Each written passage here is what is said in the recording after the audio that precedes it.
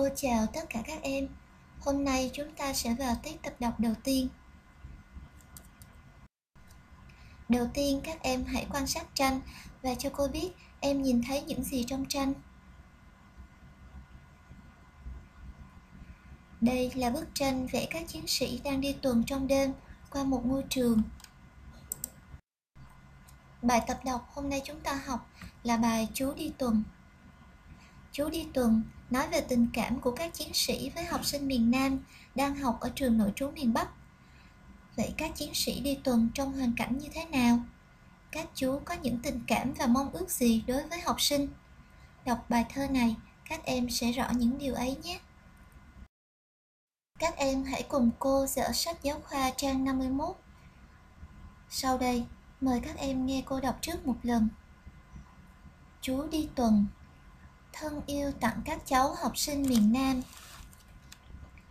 Gió hun hút lạnh lùng, trong đêm khuya, phố vắng, súng trong tay im lặng, chú đi tuần đêm nay.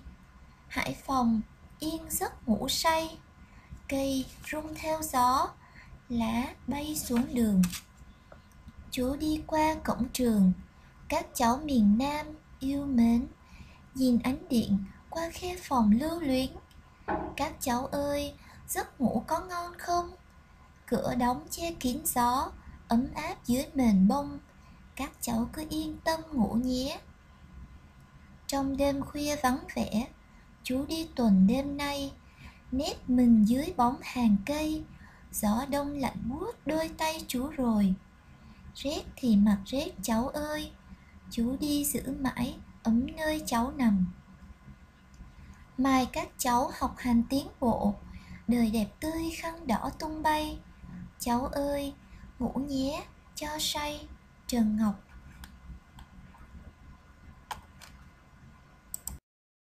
Cô giới thiệu với các em tác giả và hoàn cảnh ra đời của bài thơ. Ông trần ngọc, tác giả bài thơ là một nhà báo quân đội. Ông viết bài thơ này năm 1956 lúc 26 tuổi. Bây giờ ông là chính trị viên đại đội thuộc trung đoàn có nhiệm vụ bảo vệ thành phố Hải Phòng, nơi có rất nhiều trường nội trú dành cho con em cán bộ miền Nam học tập trong thời kỳ nước ta bị chia thành hai miền Nam Bắc năm 1954 đến năm 1975. Trường học sinh miền Nam số 4 là trường dành cho các em ở tuổi mẫu giáo. Các em còn nhỏ đã phải sống trong trường nội trú xa cha mẹ. Nhiều em cha mẹ đang công tác vùng địch chiếm ở miền Nam hoàn cảnh rất đáng được hưởng sự chăm sóc, yêu thương đặc biệt.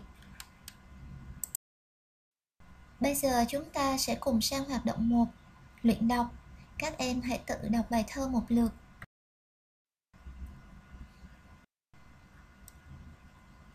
Trong bài này có các từ sau cần luyện đọc. Các em hãy lưu ý vần của các từ để đọc cho đúng nhé. Hôn hút, lưu luyến, lạnh buốt rét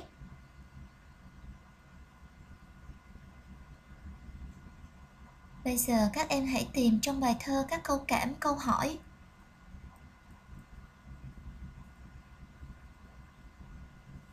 Trong bài có nhiều câu cảm, câu hỏi. Các em hãy lưu ý giọng đọc của các câu này. Câu thể hiện tình cảm, chúng ta đọc với giọng thiết tha, chiều mến. Câu hỏi thì hơi lên giọng ở cuối câu nhé. Cô ví dụ hai câu sau đây. Các cháu ơi, giấc ngủ có ngon không? Các cháu cứ yên tâm ngủ nhé. Trong bài cũng có những từ ngữ cần tìm hiểu nghĩa. Học sinh miền Nam Học sinh là con em cán bộ, nhân dân miền Nam ra miền Bắc học ở các trường nội trú trong thời kỳ nước ta bị chia cắt năm 1954 đến năm 1975. Đi tuần đi để quan sát, xem xét tình hình trong một khu vực nhằm giữ gìn trật tự, đề phòng bất trắc. Vậy toàn bài này chúng ta cần đọc với giọng như thế nào?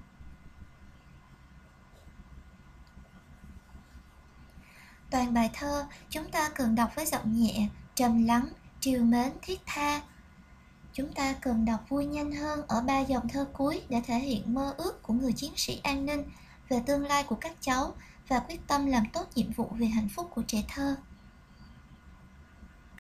Giới thiệu với các em đây là hình ảnh các chú chiến sĩ đi tuần tra.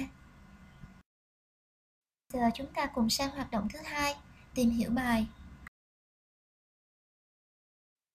Bây giờ các em hãy đọc lại nội dung của bài thơ và trả lời các câu hỏi sau nhé. Câu 1. Người chiến sĩ đi tuần trong hoàn cảnh như thế nào? Câu 2. Đặt hình ảnh người chiến sĩ đi tuần bên hình ảnh giấc ngủ yên bình của học sinh. Tác giả bài thơ muốn nói lên điều gì? Câu 3. Tình cảm và mong ước của người chiến sĩ đối với các cháu học sinh được thể hiện qua những từ ngữ và chi tiết nào? Mời các em thực hiện.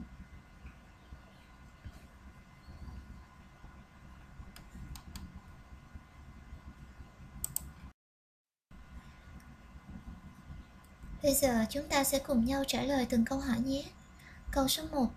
Người chiến sĩ đi tuần trong hoàn cảnh đêm khuya, gió rét, mọi người đã yên giấc ngủ say. Câu 2. Đặt hình ảnh người chiến sĩ đi tuần bên hình ảnh giấc ngủ yên bình của học sinh. Tác giả bài thơ muốn ca ngợi những người chiến sĩ tận tụy, quên mình vì hạnh phúc của trẻ thơ.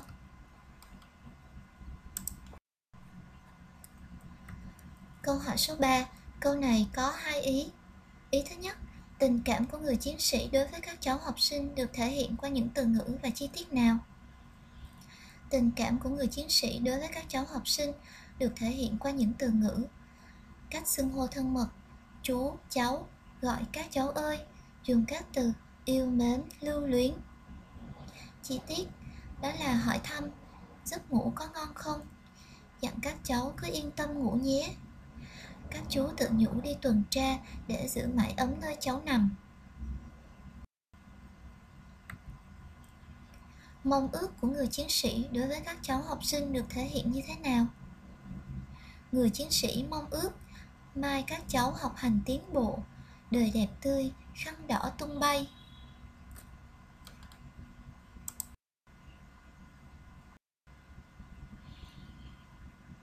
Vậy sau khi học xong bài thơ Chú đi tuần thì nội dung chính của bài là gì em biết không?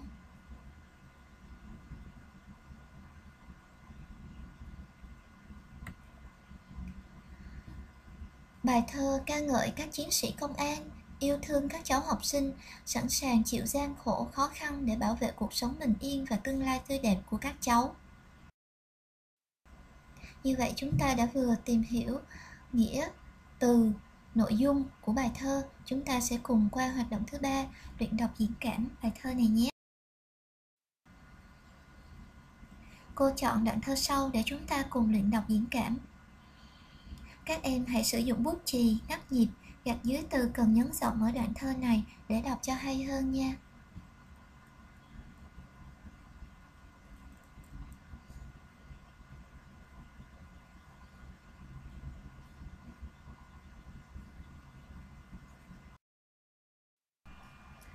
Trong đoạn thơ này, các từ cần nhấn rộng đã được cô tô màu xanh như sau. Chúng ta ngắt nhịp như thế này. Bây giờ hãy cùng nghe cô đọc nhé. Gió hun hút lạnh lùng, trong đêm khuya phố vắng, súng trong tay im lặng, chú đi tuần đêm nay, Hải Phòng yên giấc ngủ say, cây rung theo gió, lá bay xuống đường. Chú đi qua cổng trường. Các cháu miền nam yêu mến. Nhìn ánh điện qua khe phòng lưu luyến. Các cháu ơi, giấc ngủ có ngon không? Các em, hãy cùng rèn đọc lại ở nhà nhé.